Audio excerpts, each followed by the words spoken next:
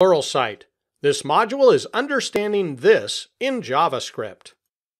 For this module, we're going to take a look at what is this. We'll learn how this changes based on the global and function scope, based on whether it's in an event handler, within an object literal, called from call or the apply methods, and in constructor functions. Let's get started. The this keyword is often used in many object-oriented programming languages, and basically this always refers to an object, and that object is typically the one in which the current code is running. Now we will see that there are, of course, some exceptions to that rule. Let's take a look at some examples before we dive into some real code. If we're just trying to print out this within a script tag, you have to remember that JavaScript is running within the global window object that's available in every browser. So if you try to just print out this to the console, it's going to come back with, hey, I'm the global window object because you're not within any context other than this global object. Now, if you have an object literal, such as person, and you have first name property, a last name property, and then you have a function called full name, now when you use this, this refers to this object literal called person.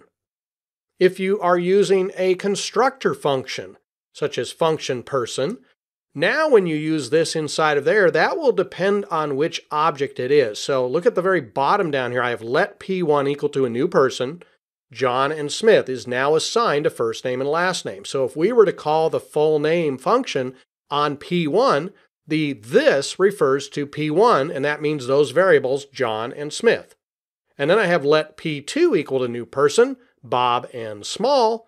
So what does that mean? Well, that means that now those two values are assigned, so this is now in the context of P2. Using this keyword will have different values based on in which context your code is executing. For example, when you're in a method inside of an object, this refers to the owner object. In a function or outside of any function, it refers to the global object or the window object. If you're in an event, it's the element that received the event. Call and apply methods actually refers to the object that's passed in.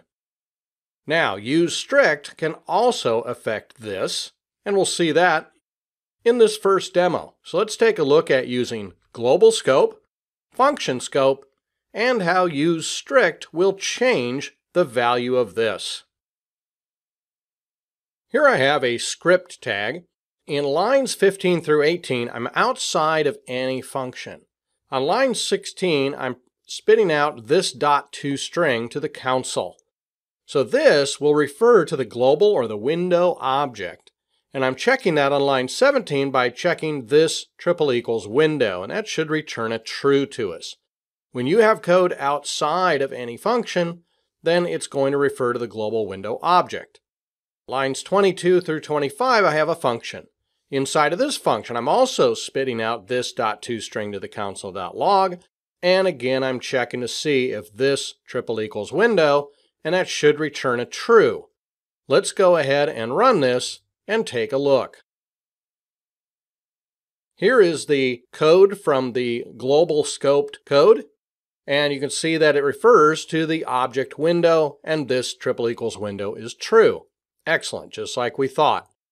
When I run the function, we also get the global object, and this dot window is equal to true. Now, this will change based on whether or not you have used strict in effect, and as I mentioned before, you should always be using this. So let's uncomment this line. Let's save this, and then let's go back and refresh and click on the function. Now you can see that this is now undefined. Just like what use strict is supposed to do, it says, well, I haven't declared anything called this, so it's undefined as of this point. So when you're using this and you're doing just a regular function in the globally scoped namespace, then this does not refer to anything. And that makes sense, and it's actually a good practice to do this.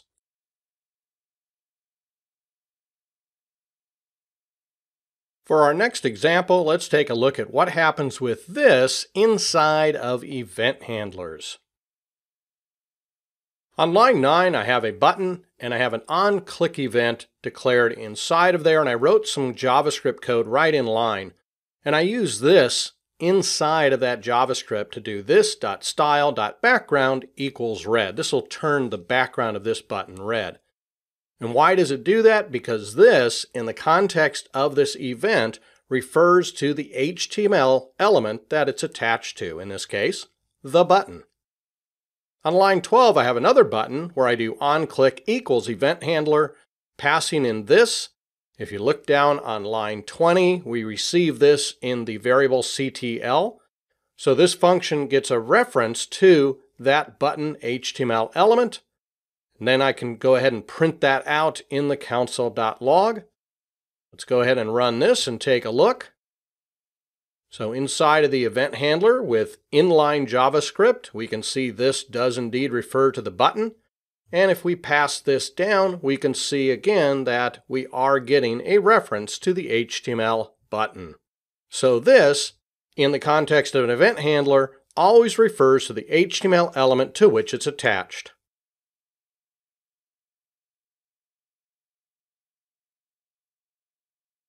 Our next example, let's take a look at what happens with this inside of an object literal. Here's a function called object literal. What I'm doing is I'm creating let product equal to this object, and in this object you can see some properties like product ID, name, standard cost, and list price. Then we have a function called gross profit. And inside of here, I'm going to access list price and standard cost, which are a part of this object. So we use this. So this, inside of an object literal, always refers to the properties or a method inside of that object literal. And all we're going to do is grab the list price, subtract the standard cost, and that becomes the regular price, and I'll spit that out on line 29 to the console.log. Let's go ahead and run this. And we can see that indeed it does grab that list price and the standard cost, subtracts them, and then applies the currency.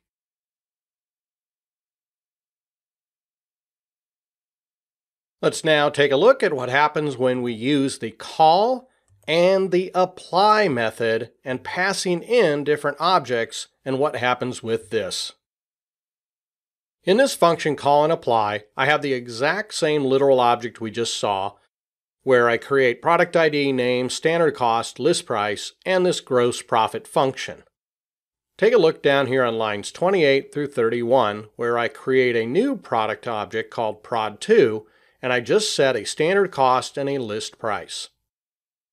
Now take a look at line 34, where I do product.grossprofit. So that says the product object, the literal object that we created that has the gross profit method. Let's go ahead and call that but we're going to call it using product. Then on line 36, we're going to call product.grossprofit.call, but now we're going to pass in prod2. So this on line 34 will be an instance of product. On line 36, this will refer to product 2. So up here on line 21, when we do this dot list price minus this dot standard cost, the first one will be the 1431.50 minus the 1059.31. On the second call, it will be the list price of 850 and the standard cost of 500. The apply works the exact same way. I don't have any parameters to pass, and that's the only difference between call and apply is apply allows you to pass arguments to that particular method, but other than that, you can still pass in which object you wish to use. Let's go ahead and run this just so we can see what it looks like. And there you can see the two different values based on which object gets passed to the call or to the apply.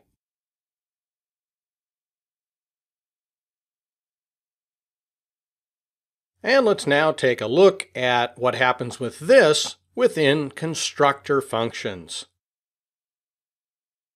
Here I have a constructor function that's pretty much the same as the literal object I created earlier. It has a ID, a name, a standard cost, a standard price, and a gross profit function. Now notice the use of this inside of here as well. Well, just like you'd expect, we're also going to try calling this with a couple of different objects.